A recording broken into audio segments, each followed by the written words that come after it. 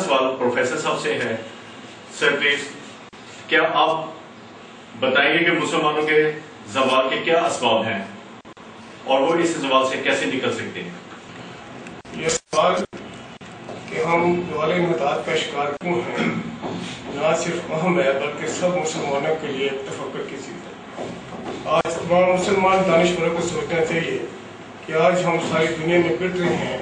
खा हमारा तल्ल कश्मीर से है। खा से से है। तो हमें क्यों इस जबर में मुबतला कर दिया गया?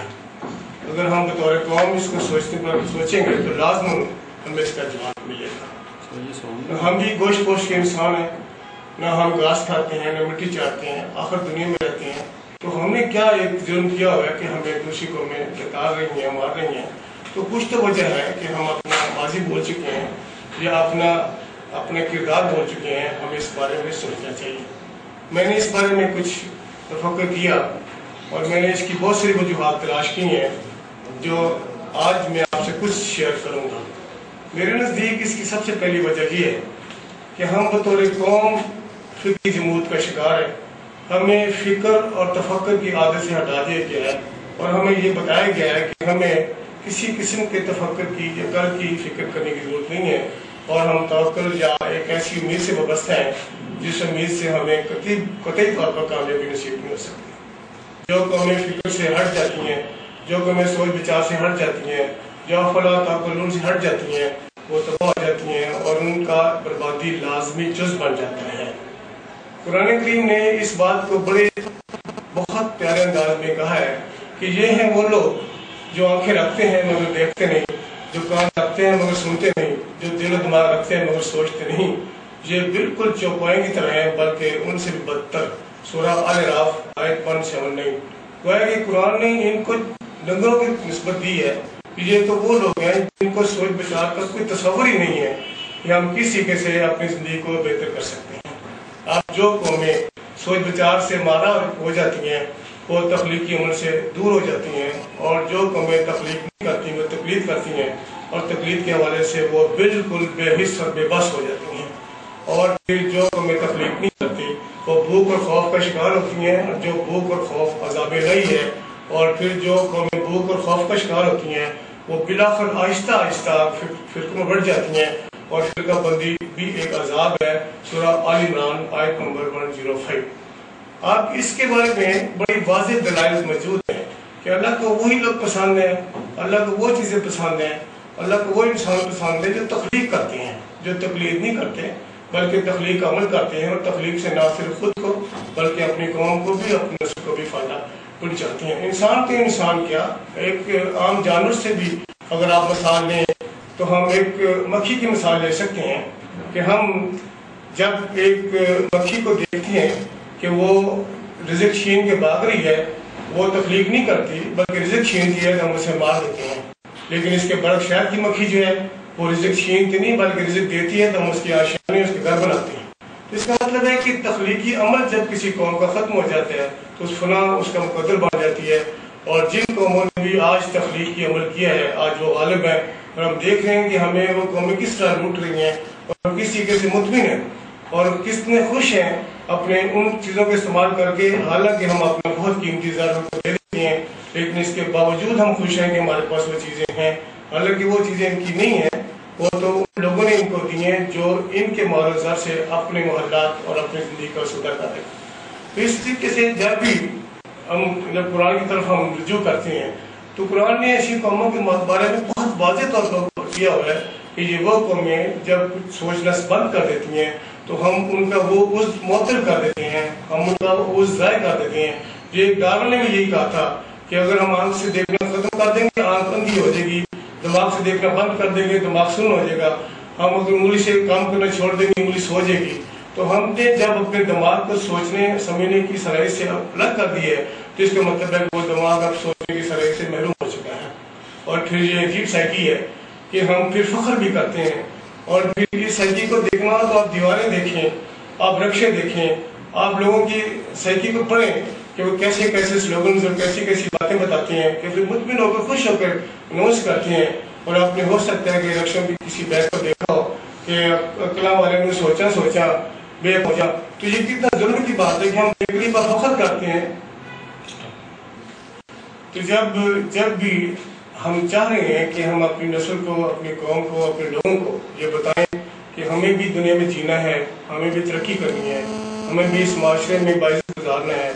हम भी अपने आप को एक बावकार कौम बनाना चाहते हैं तो हमें उनके अंदर फिक्री जमूद खत्म करना पड़ेगा। और फिक्री जमूद ही किसी कौम की मौत है। और जब कोई कौम फ़िक्र नहीं करती, जब कौम दबर नहीं करती, जब कोई कोई कौम सोच विचार नहीं करती तो तबाही उसकी लाजमन मुकदर बन गई इस हवाले से कुरान की बेशुमार आयात मौजूद है। और उन आयात को अगर मैं यहाँ ज़िक्र करूँ तो आप बसानी समझ सकते हैं कि तदब्बर के बारे में इतनी दफ़ा दोहराया गया है। लेकिन हम लोगों ने कुछ लोगों की गलत तबलीग की वजह से, कुछ लोगों के गलत वजाहत की वजह से हमने उस तरफ़ कभी भी कायल करने की कोशिश नहीं की, बल्कि हम तो शुक्र के लफ्जों के अंदर उलझे रहे हैं। हालाँकि ये इनके तराजी में गलत है। तर, तर्जमा जो शुक्र का किया जाता है वो ये नहीं है कि रुकी सुखी का शुक्र करो। तर्जमा ये कहते हैं नियम के हासिल करो फिर शुक्र अदा करो।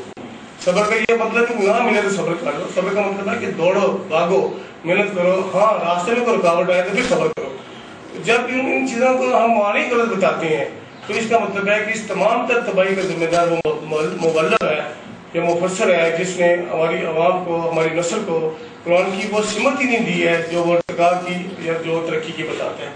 आप ईरान होंगे कि कुरान करीम में सात सौ पचास आयात, वो आयात हैं, जिन पर सिर्फ़ तदब्बर तफक्र का ज़ोर दिया गया है और वो सारी कायदात पर है, जबाल पर है, समुद्रों पर है, पहाड़ों पर है तकलीफ़ पर है। और इसमें यह बताया गया कि ये हैं वो आयात जिन पर गौर फ़िक्र करो और तुम लाजमन उन चीज़ को पालोगे जिन चीज़ों को पाने की तुम्हें हासिल अब अगर हम उनकी तरफ़ जाते नहीं है, उनकी तरफ़ तोजी नहीं करते हैं, फिर गिला करते हैं जी, हमें हमें तो बताया नहीं जा रहा, हम तबाह हो रहे हैं सारी दुनिया में मुसलमान इस वक्त फिफ्टी सेवन कंट्रीज़ है। और फिफ्टी सेवन कंट्रीज़ का आलम यह है कि सभी बेहतर है, सभी उनकी दस्ते नगर में है इनके पास माजी कुत है, इनके पास अपराधी कुत है, इनके पास अप्रो शोर है, इनके पास वाईसी जैसी तंजीमें भी है। और कुछ तो है, सिर्फ़ और सिर्फ़ इसकी वजह यह है कि ये कौम बसियत मजमू फ़िक्र तफक्र से फारग हो चुकी है। और फिर जो लोग फ़िक्र तफक्र नहीं करते हैं, उनको हम खुश होकर कहते हैं कि कोई बात नहीं है, अल्लाह ताला आपको सजा देगा, अल्लाह ताला करेगा। अल्लाह का एक निज़ाम है।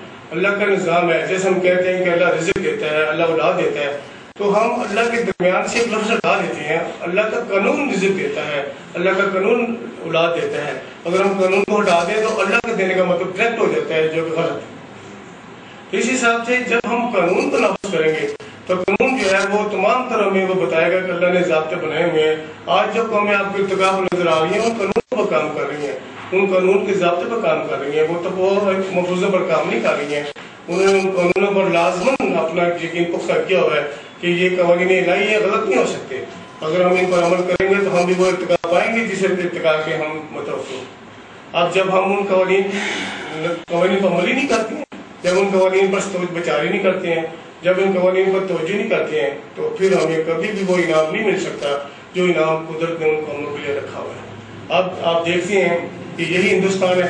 अब यही हिंदुस्तान में एक हज़ार मुसलमान, एक हज़ार साल मुसलमान बादशाह करके गया है, कुछ भी करके गया इसका मतलब है कि आप जब सात सौ बारह में मोहम्मद बिन कासम आते हैं और सतारह सौ सात में औरंगज़ेब जाता है तो इसका मतलब है कि करीबन कमोबेश हज़ार साल मुसलमान हुकूमत करके हिंदुस्तान पर जाते हैं।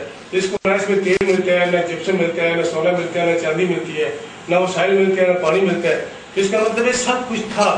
क्यों नहीं मिला? इसलिए कि उन लोगों ने अपनी कौम को, अपने आप को उस फ़िक्र में कोशिश में डालने की कोशिश ही नहीं की है कि हम भी इस ज़मीन से हासिल करें जिससे कौमों को खुशहाली आ सकती है। अगर ये होता है कि जो लोग जमहूरियत के कायल नहीं होते, बादशाह के कायल होते हैं, वो आमतौर से ऐसा नहीं करती हैं। उनका नुकता नज़र सिर्फ़ बादशाह को कायम करना होता है। मसलन आपके पचास साल तक अकबर आज़म रहा है, पचास साल तक औरंगज़ेब रहा है लेकिन इन लोगों ने कभी नहीं सोचा होगा कि हम आवाम की खुशहाली की बात करें। उन्होंने अवाम को गुलाम बना के रखा होगा और इसी तरीके से उनकी अपनी सहूलतों के लिए उनको इस्तेमाल करते होंगे। जैसे कि फिरौन ने बनाया था, फिर मूसा उनको आज़ाद किया। तो ये कर्मी ही होता है, बादशाह के, बादशाह कभी भी नहीं किसी कौम को रोज के आने देते। क्योंकि वो चाहते हैं ये शोर में आ गए ये फ़िक्र में आ गए ये तफक्र में आ गए ये तदबर में आ गए तो हमारी बादशाह कौन रहने देगा? या लेकिन कुरान अवाम को दावत देता है। कुरान ने कहीं हर जगह यही कहा या ए लोगो ए लोगो ए लोगो। तो ये कुरान एक बहुत किताब है जो अवाम को पुकारती है, अवाम की भलाई करती है, अवाम की बेहतरी करती है। रबना अपना फिर दुनिया हसनत उनको दर्श देती है कि मेरी दुनिया संवर दे, सवार दे, मेरी आखिर सवार दे। लेकिन ये लोग दुनिया संवारने के लिए आपको करीब भी नहीं आने देंगे, बल्कि आपको मरीज़ गुलाम और मुलाजम रखेंगे। तो ये अलमिया जब तक हम अपनी आवाम को, अपने बच्चों को, अपने तलबा को, अपनी नस्ल को नहीं बताते कि वो कौन लोग हैं जो हमें इस तरह बर्बाद कर रहे हैं तो उस वक्त तक नस्ल उसी में उसी में, उसी शुक्र में लगी रहेगी जिस पर हमने डाला हुआ है।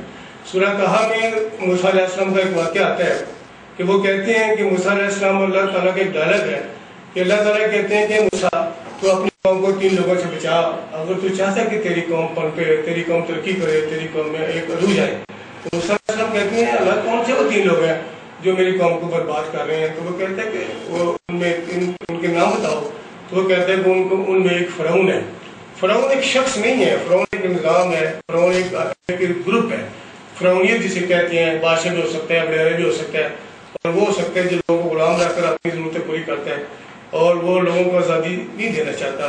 और वो फ़राउन क्या करता था ये हिस्ट्री बताती है कि किस तरह गुलामी को कोड़े लगाकर अपने हराम बनाता।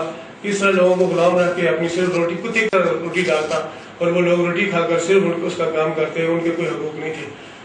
दूसरा ने कहा कि दूसरा शख्स कौन है? उन्होंने कहा कि दूसरा शख्स कानून है। उसने कहा कि वो क्या है? उसने कहा कि वो माला दौलत का हामी है, और वो माला दौलत का मालिक है, और वो नहीं चाह रहा कि वो लोगों को शूर आए। वो सिर्फ़ ये कहते हैं कि मैं सनतकार के तौर पर इंडस्ट्रिस्ट के तौर पर आज किस बात में रहूँ, और ये लोग मेरे गुलाम हैं या मजदूर हैं, और इनकी वो मेरी जरूरतें पूरी करें। अल्लाह ताला ने कहा कि मूसा ने कहा, तीसरा शख्स कौन है तीसरा शख्स अमान है। अमान वो मजीद पेश है, जो लोगों को गुमराह करता है और फिर इस उम्मीद पर लोगों को जन्नत दिखाता रहता है।